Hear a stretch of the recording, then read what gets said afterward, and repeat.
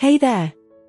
Today, we're going to dive into the world of Joaquin Sorolla, a renowned artist who lived from 1863 to 1923. Sorolla was a Spanish painter who had an incredible knack for capturing the beauty of everyday life.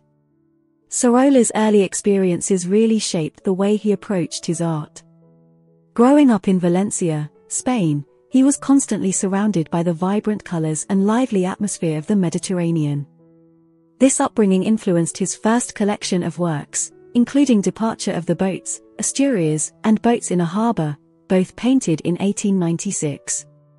These paintings truly captured the essence of the fishing villages he loved, with their bustling harbours and stunning seascapes. But it wasn't just the coastal scenery that inspired Sorolla.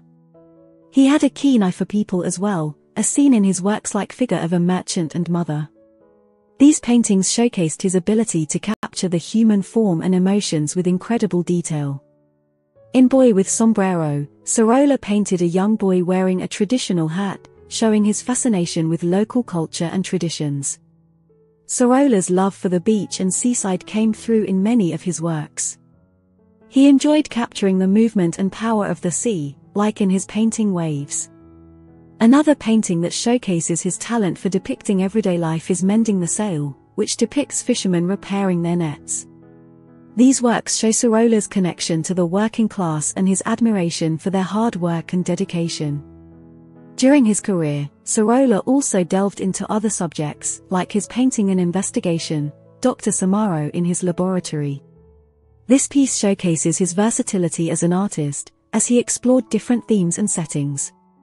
Overall, Joaquin Sorolla was a true master of his craft.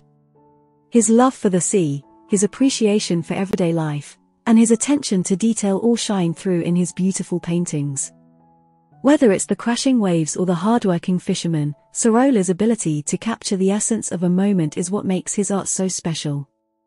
So next time you see a Sorolla painting, take a moment to appreciate the incredible talent and passion behind it.